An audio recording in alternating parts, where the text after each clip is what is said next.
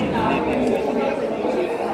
Um, I just feel like I still my position because I know uh, Nadine has been vocal in the past about uh, it being no one else's business, and I want to respect that and uh, do what she said.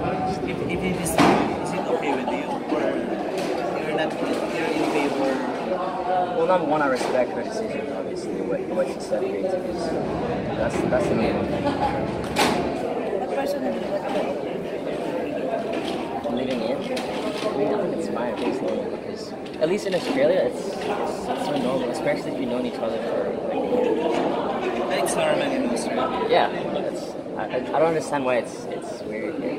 Here in the Philippines, it's conservative. Ay, sorry. Used to the road. But in the past, James hasn't um, entered that in that situation. Sorry. In the Sige, past, sige, una na kayo. si James, hasn't he entered in that situation living in together with with his girlfriend? Living in Albert, in the past.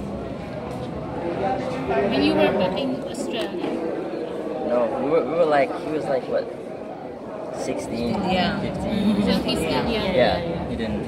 There was no living in. It was just all of us, all of us together in a house.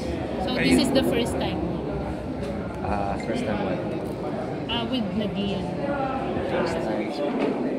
Kasi they already talk about the, uh, the live-in setup naman din uh, before. So men are just wondering why we don't talk about uh, about their situation. About that situation, because it's not my position.